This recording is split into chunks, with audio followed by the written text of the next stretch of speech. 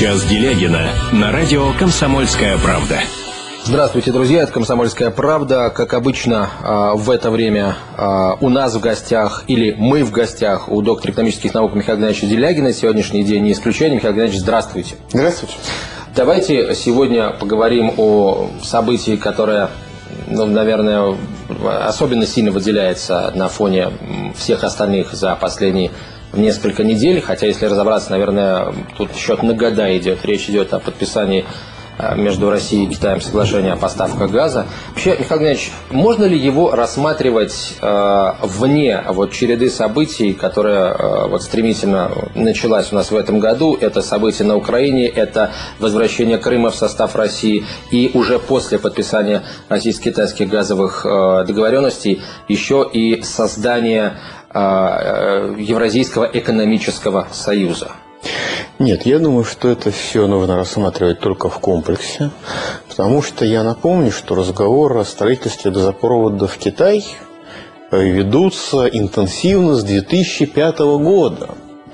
Может быть, вы помните, когда в 2005 году мы должны были построить газопровод Ангарск-Дацин, который в итоге стал ВСТО и пошел через Приморский край – и через Сковородино, а, и с, большой, с большим опозданием. И вот как бы, чтобы сглазить, э, так сказать, негативные ощущения, из-за этого пошел разговор о том, что да, нефтепровод будет попозже, а пока мы давайте поставим газопровод прямо с Западной Сибири а, через Алтай, благо в Барнауле газопровод есть, и нужно всего лишь из Барнаула его нарастить до Синьцзян-Угурского основного района Китая.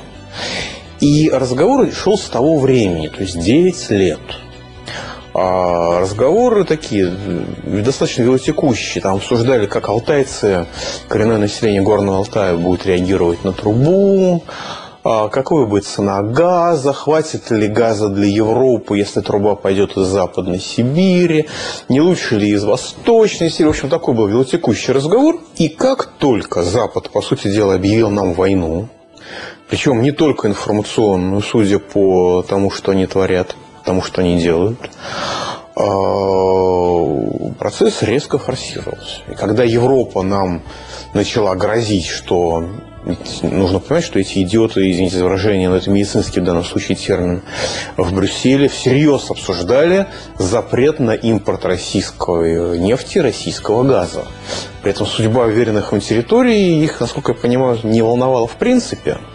И то, что «Газпром» обеспечивает треть поставок газа, треть потребления газа Европу и Турцию, их тоже не волновало в принципе. Нужно было перед американцами отчитаться, что вот мы все правильные слова сказали. А, и госпожа Псаки, когда она сказала бессмертная, что все знают, что газ из Европы идет на Украину, а потом в Россию, мы-то издеваемся над Псаки. Но Псака, э, которая уже, фамилия которой в России считается единицей измерения глупости, она исправилась потом. И как-то у нас все умалчивают, что господа Керри и Обама, которые сказали то же самое, они исправляться не стали. Ну, понятно, пиарщик общий, пиарщики общие. Да? Вот, в этой ситуации, когда нас обвиняют во всех смертных грехах, когда Верховная Рада этих бабуинов э, нацистских э, на, на головом глазу собирается исключить Россию, исключать Россию из ООН, потому что мы не, втор, не вторгаемся на территорию Украины. И даже на территорию Луганской Народной Республики, Донецкой Народной Республики мы тоже не вторгаемся, вопреки всем просьбам. Но они считают, что мы хотим. А ну, у людей э, уже, уже не весеннее обострение, уже летнее обострение, там грибков и не поели, я не знаю. Но мы видим абсолютно враждебную невменяемость Запада. Видишь, это э, невменяемость э, долгосрочная и враждебная. Мы видим, что нам просто объявили войну. Против нас э, вводят санкции. То, что эти санкции носят характер психической атаки, и то, что они ни во что конкретно не выливаются, но просто потому, что они беспомощны. Если бы они могли нам нагадить по-настоящему, они бы нам нагадили. Это не их заслуга, что санкции превратились в пшику. Да? А в этих условиях, естественно, мы должны были активизировать сотрудничество с Китаем. Просто как партнер, которому нужны деньги, а не понты. Как партнер, у которого есть конкретные интересы, а, и э, который тоже находится в аналогичном, в аналогичном прессом со стороны Соединенных Штатов Америки. И, естественно, это пока Это 4 месяца ненависти, 3 месяца ненависти, март, апрель, май. Я думаю, что это будут долгие месяцы ненависти, которые у нас, и грязи, которые нас поливают на Западе. Ну, коллеги, если вы нас ненавидите, то мы вас не утруждаем своим присутствием. Мы будем переориентироваться на тех, кому просто нужно сотрудничать.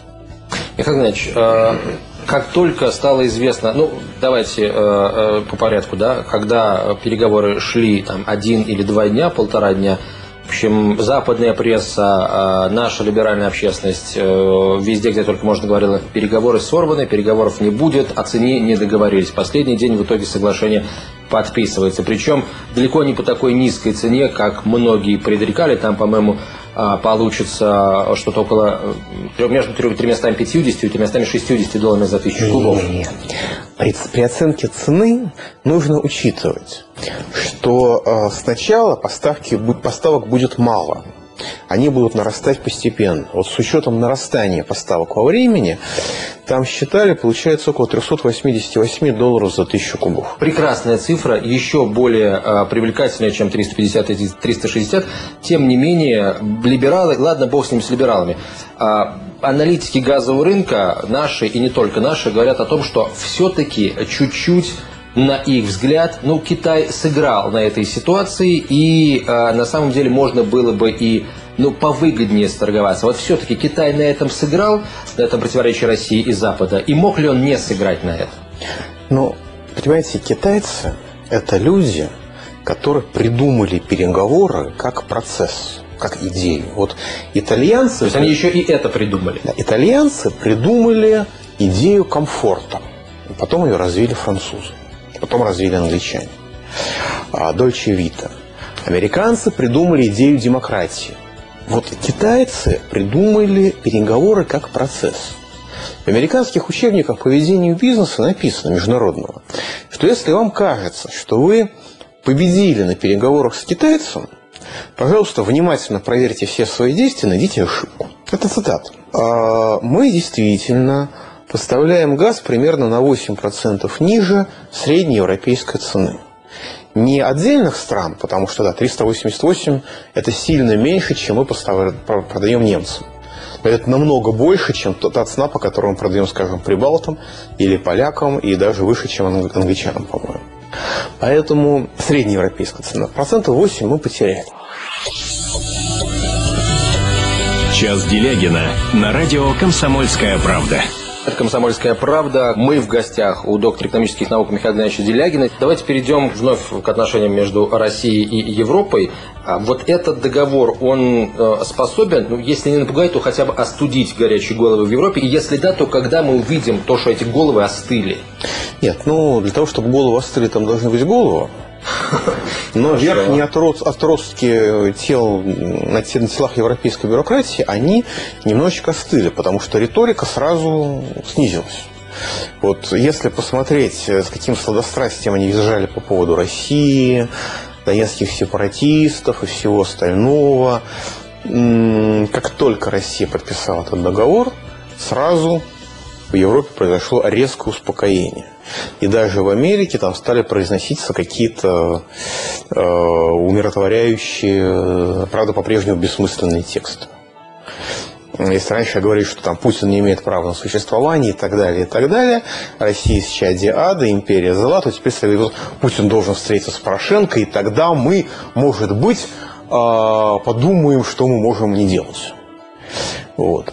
Но э, безотносительно истерик э, совершенно сошедших с ума европейцев и американцев, но люди на самом деле устроили государственный переворот, привели к власти нацистов, а потом обнаружили, что они сделали. И теперь они должны поддерживать нацистов, потому что их, это их сукины дети, а они нацисты, они искренние и незатыкаемы. Когда господин Порошенко кричит «снарядов не жалеть», и убивать женщин и детей, ну, это одно дело, когда говорил Ярош, можно было говорить, что мы здесь ни при чем, он случайно сам вылез. Когда они только что сделали этого гематогена королем Украины, точнее, гауляйтером города Киева и окрестностей, понятно, что любое восстание против нацизма, оно оправдано с точки зрения европейских ценностей, европейского закона. Любое восстание против ставника европейцев, оно оправдано с точки зрения европейского закона. Вот, они прекрасно понимают. Позу, в которой они сами себя усадили. Вот. Но нам нужно смотреть не на этих странных людей. Нам нужно заниматься развитием своей страны. Мы должны понимать, что э, европейцы и американцы будут очень вежливы, если будут нам не нужны. Как только мы им показываем, что мы что нет для нас нужны, они начинают хамить, начинают вести себя невменяемо, неадекватно. А у нас десятки людей оказалось э, на Западе с карточками Банка России, с МП-банк просто без средств существования. Десятки людей, которые вообще ни, ни к чему никакого отношения не имеют. Они, конечно, хотели бы, чтобы их были, были сотни тысяч. Но, вы знаете, тем десяткам, которые оказались в этом положении, не легче от того, что их не так много. Вот. Э, это для нас очень хороший урок. Нужно просто понимать, что вот э, партнерство с Западом существует только в глазах агентов Запада. Для всех остальных, для нормальных людей это партнерство возможно, если мы в любой момент можем сказать «до свидания». У нас, к сожалению, слишком великая пятая колонна. Я напомню, что мы до сих пор финансируем нацизм поставками газпромовского газа бесплатными, без какой-либо надежды реально получить деньги. Вот. И в этом отношении переориентация Китая – это правильная вещь. Во-первых, месторождение Восточной Сибири. А поставлять этот газ в Европу достаточно сложно, потому что далеко и э, достаточно затратно. А слишком плохие горные геологические условия. В Китае ближе. Объективно Калыкта и Чаянда, они объективно ориентированы на Китай географически. При этом нужно сказать, что э, трубопровод пойдет не напрямую в Китай, он пойдет через Амурскую область. У нас будет возможность, всегда будет выбор продавать э, на рынок Юго-Восточной Азии, в Японию, или продавать в Китай. Это способ, так сказать, который нашли при строительстве ВСТО, чтобы нам китайцы нам не диктовали, как турки нам в свое время диктовали с голубым потоком. Это мы учили, учили допущенные ошибки. И самое главное, ведь жечь газ – это такая же мерзость, как и жечь ассигнация, как, как жечь нефть, жечь ассигнация по Менделееву. Вот в Амурской области будет построен огромный газохимический комплекс, который будет газ очищать. И китайцы будут получать газ очищенный, сугубо энергетическое сырье. CH4 и ни копейки больше. А все добавления, а, которые с точки зрения энергетиков являются гадостью, а с точки зрения бизнеса являются самым ценным, что есть в газе, потому что это, это ценнейшее сырье для газохимии. И переработка и газохимия обеспечивают в 7 раз большую рентабельность, чем простое зажигание газа. Это все будет оставаться нам. То есть, получается, с одной стороны, мы начинаем развивать газохимию впервые с советских времен. Это огромный прорыв, огромный шаг вперед. Мы ну, на самом деле начинаем развивать, не на словах, а на деле, Забайкалье и Дальний Восток, потому что будет большой газохимический комплекс большим количеством сопутствующих предприятий. И даже трубы будут наши. Когда мы говорим, что трубы будут не китайские, потому что там китайцы могут какой-то пока не умеют там чего-то делать, а, знаете, японцы умеют, а южные корейцы умеют. С большим удовольствием все поставят. Да и китайцы могут научиться за время реализации проекта. То есть это проект изначально ориентированный на развитие российского производства. Развитие России. Это э, шаг, которого раньше не было. Мы, мы не занимались, несмотря на все слова, развитием Российской Федерации. Этот проект ориентирован на наше развитие. И на развитие Дальнего Востока и Забайкалья. Сказали, что если показать Западу, Европе э, то, что они нам нужны, они начинают наглеть. А Китай как партнер в этом плане э, лучше? То есть Китай не начнет ли, э, скажем так, в кавычках, наглеть в какой-то момент? Или... А, китайцы очень жесткие переговорщики. Но у них есть стратегическое видение мира. И они видят, что их стратегический враг – это Америка. Причем именно в этих терминах, именно враг. Люди, с которыми нужно и должно торговать, извлекать из них прибыль, учиться у них, перетаскивать технологии, сотрудничать. Но понимание того, что Америка – это враг, который не успокоится, пока не уничтожит Китай, а это понимание в китайском руководстве, по-моему, является абсолютным. А, они могут э, плохо относиться к нам – они могут нам рассказывать, как плохо мы ведем хозяйство, но мы для них партнер. Мы для них не союзник. У них нет союзников. Мы для них не друзья, но мы для них партнер, которого американцы поставили в такое же положение изгоя, в котором они хотят видеть Китай. Поэтому тактические переговоры с китайцами всегда очень тяжелые, очень трудны. Но в стратегическом отношении они ориентированы на сотрудничество. Потому что им нужна вся помощь, до которой они могут дотянуться против Америки. Американцы себя очень ну, скажем так, они, прилож... они сделали многое для того, чтобы воспитать у китайцев такое отношение к себе. И они добились успеха. Вот для китайцев э, Америка – это главный бизнес-партнер, это главный рынок и при этом главный враг. А поэтому э, пока мы сдержанно конкурируем с американцами, а мы можем рассчитывать на успех переговоров с Китаем. Надо сказать, что американцев отношение к Китаю ровно такое же. И я напомню, что вся перезагрузка отношений, которая была так пышно разрекламирована в отношениях США и России, на практике свелась к требованию, причем ультимативному требованию со стороны США, чтобы мы публично переругались с Китаем. Вопрос, а зачем нам это нужно, вызвал дикое раздражение американцев, дикое разочарование и поток заявлений недобросовестности российского руководства. Эти люди невменяемы. Не надо смеяться над госпожой Псаки. Для американского руководства, для администрации Обамы она вполне умный, вполне грамотный, вполне образованный вменяемый человек. Она по уровню интеллекта, по уровню конкретных знаний ничуть не, не выше, ничуть не ниже Обамы, с моей точки зрения. Михаил Ильич, тогда э, дальше.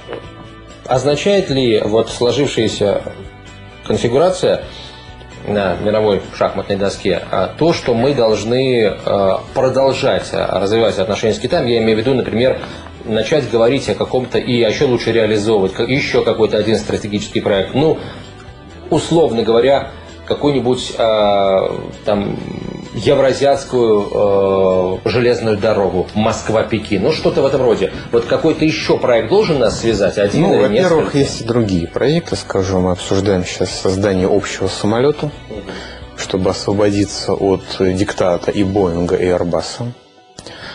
А, и это очень перспективное направление.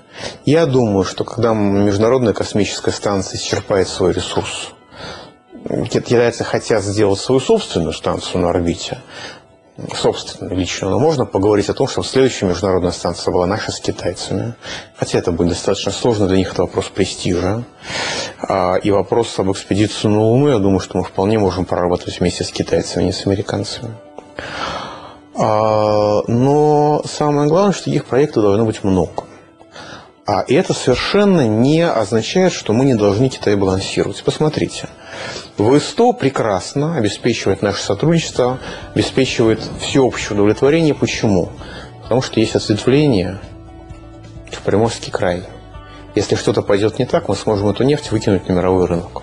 Точно так же газопровод сел из Сибири. Да, в Амурской области стоит газохимический комбинат – энергетическое сырье можно продавать китайцам, а можно будет продавать на рынок Юго-Восточной Азии. То есть всегда должна быть альтернатива. Никогда не нужно идти на то, чтобы Китай был единственным партнером. В этом же регионе есть Япония, есть Южная Корея. Продолжение программы слушайте через минуту. Час Делягина на радио «Комсомольская правда». Это «Комсомольская правда». Мы в гостях у доктора экономических наук Михаила Геннадьевича Делягина. Как только, это, точнее параллельно да, с э, газовыми переговорами шли и даже раньше завершились переговоры, завершились причем успешно подписанием договора о намерениях э, между правительством Москвы и китайской железнодорожной компанией и инвестиционным фондом крупным – о намерении китайцев вложить, по-моему, 2 миллиарда долларов в создание ветки метро в Москве э, вот, э, от третьего пересадочного контура в Новую Москву, в присоединенной территории. И сразу пошли разговоры о том, что вот имеет место, будет, точнее, нас ждет экспансия китайского бизнеса и давайте называть вещи именами китайского населения, китайских рабочих рук. Вот насколько это может стать каким-то ну, камнем преткновения в развитии отношений, и способны ли Москва и Пекин договориться в таком щекотливом вопросе, как вопрос миграции? Вы знаете, на самом деле а, вопрос миграции китайцев в Россию очень болезненный. А, сейчас, без всяких новых веток метро, заедьте в Люблино и посмотрите, что там творится. Да и многие другие районы Москвы. Вот. И это вопрос, который предстоит решать российскому руководству. Мэрия Москвы, по-моему, мало кто замечал особой любви к городу, который ему отдали в управление. Вот. Они, с моей точки зрения, с точки зрения москвича, могут совершить все, что угодно в отношении Москвы, ну, кроме, разумеется, ковровой бомбардировки. И э, проект «Новая Москва» в этом отношении представляется абсолютно чудовищным. И зачем отдавать этот контракт китайцам, когда можно самим построить ветки легкого метро, наружного метро – скоростную железную дорогу, я думаю, Якунин построят с радостью, с восторгом. Я не очень понимаю, зачем это нужно, но давайте зафиксируем, что пока это договор о намерениях. Это пока рамочное соглашение, которое может быть проработано, а может и не быть проработано. Квота китайской рабочей силы – это полмиллиона в год – Судя по тому количеству китайцев, которые мы видим на улицах, у меня ощущение, что по одному паспорту въезжает 2-3 человека, а выезжает один, как положено. Вот. Но это, безусловно, очень острая проблема. Нужно еще понимать, что китайский бизнес отличается от остальных тем, что тянет за собой свою инфраструктуру.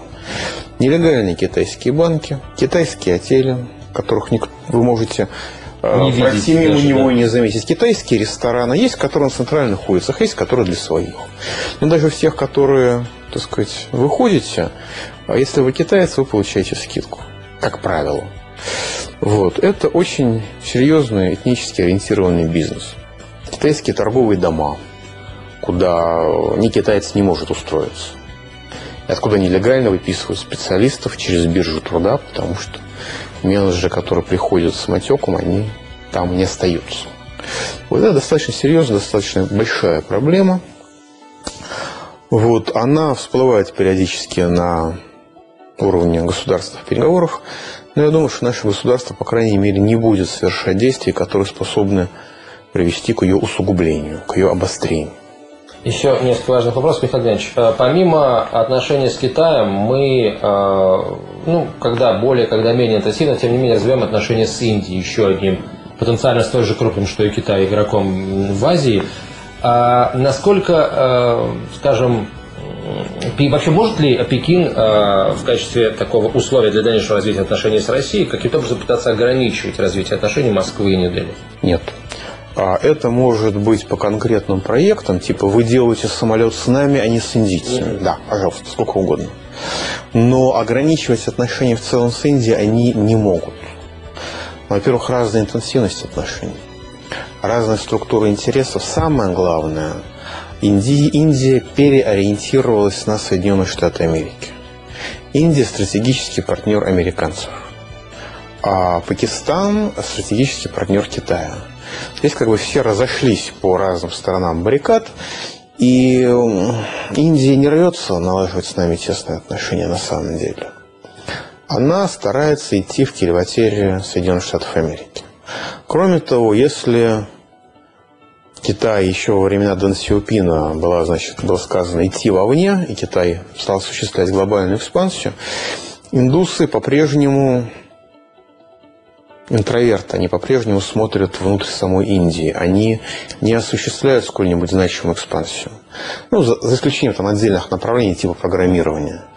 Поэтому э, у нас нет возможностей наращивать сильные отношения э, с Индией и в силу характера э, ведения индусами бизнеса, что у них нет экспансии, и в силу стратегической ориентации на США.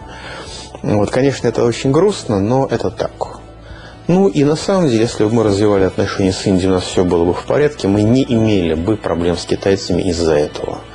А, китайцы очень жестко отстаивают свои коммерческие интересы, но они, по крайней мере, я не замечал, чтобы они портили жизнь другим.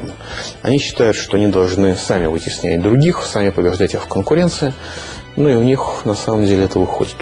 Сейчас мы видим, как то тут, то там в мире а, применяется технология цветных революций, технология вирус завозной. Насколько вообще Китай э, обладает иммунитетом против этого вируса? Могут ли попытаться Китай изнутри взорвать? В Китае была цветная революция, 89 год, площадь Тяньаньмэнь. Угу. Причем, когда говорят, что ах, это безоружные студенты вышли на площадь, у меня возникает детский вопрос. А кто сжег тогда 40 бронетранспортеров в окрестностях этой площади? Еще не в момент разгона, а только когда они шли на подходе. Это был действительно внутренний конфликт, внутриэлитный конфликт, очень болезненный, что в 80-е годы Китай развивался очень неравномерно. И, собственно говоря, Китай был спасен благодаря распаду Советского Союза. Получил новые рынки, на которые бросился. И это был очень болезненный внутренний процесс, очень страшный. Это была внутриэлитная борьба, которая доходила до вооруженной борьбы. И это была настоящая цветная революция, может быть, без сильного вмешательства США, но очень жесткая по своим технологиям внутри. И когда Дэн Сяопин уничтожил это восстание, это было действительно очень страшно, и Тианьмэн открылось только через 11 лет, для, через 11 с половиной лет для посещения в декабре 2000 года. Я это помню, потому что меня я тогда был туристом, и меня арестовывали на этой площади. Ну, задерживали, скажем так. Просто был подозрительный иностранец. Там было настолько страшно им открывать эту площадь для свободного посещения снова. То есть получается, что переболев вот этой болячкой, этой за, заразой 27 лет назад, они на какое-то время обрели иммунитет? Понимаете, э, у них нет разочарования. Через 5-10 лет, да, у них будет проблема. С одной стороны, экономика резко затормозится, будут обманутые ожидания. С другой стороны, у них сейчас э, весь средний уровень занят людьми, которые получили западное образование. За границей или в самом Китае, неважно. Они просто менеджеры. Они служат Китаю не потому, что это Китай, а потому, что это выгодно. Это прекрасное сырье для любой коррупции, для любого предательства. Когда представитель этого поколения займет первые, первую должность в Китае, а это будет, я думаю, после Си Цзиньпи, тогда Китай будет готов к разрушению извне. Но до этого, пока Си Цзиньпи, это представитель старых поколений, э, остается руководителем Китая, иммунитет у китайцев есть. Давайте не будем знать, что 30 лет непрерывно, каждый день улучшается жизнь китайцев. 30 лет. На протяжении жизни целого поколения, даже больше. Это выдающиеся достижения, и они, безусловно, они, безусловно, не, отступ, не отступят от него. Пока они не будут разочарованы, а, они имеют иммунитет от цветных революций. Просто я почему спрашиваю, постоянно, в последнее время чаще всего звучат тоже э, аналитические скажем, э, материалы всякие разные о состоянии Китая, где говорится о том, что рано или поздно простой китайский человек а, скажет, что да, у нашей страны там триллионы долларов запасов, но это наши деньги, потому что у нас нет пенсионного обеспечения, нет бесплатного, условно говоря, здравоохранения, чего-то еще нет, зарплаты копеечные, я это наши деньги, намекну, отдайте их нам. Я намекнул, что в Китае есть уже пенсионное обеспечение, сейчас не 82 год. В Китае развивается пенсионное обеспечение и социальное обеспечение. А в Китае развивается здравоохранение. А в Китае развивается социальная сфера. И обычный рядовой китаец каждый день, каждый год живет лучше, чем он жил в прошлом году. Это неуклонный процесс. У них огромное количество структурных проблем. Через какое-то время это прекратится. И тогда они могут сказать, это наши деньги, отдайте их нам. Но э, китайцы очень патриотичны. И на ближайшие, вот если сейчас улучшение жизни прекратится, то на ближайшие пять лет они будут гарантированы от любых цветных революций. Где будет через пять лет Китай, мы не знаем, но мы не знаем, где, и, и где будут США через пять лет. Потому что страна тоже разрывается внутренними центробежными тенденциями. К сожалению, мы не можем играть на нашем эфирном времени, которое завершается. Михаил спасибо большое. До встречи спасибо. через неделю, когда мы обсудим еще еще кое-что интересное из того, что в мире произошло. Ну или стряслось. Будем надеяться на лучшее. Час Делягина на радио «Комсомольская правда».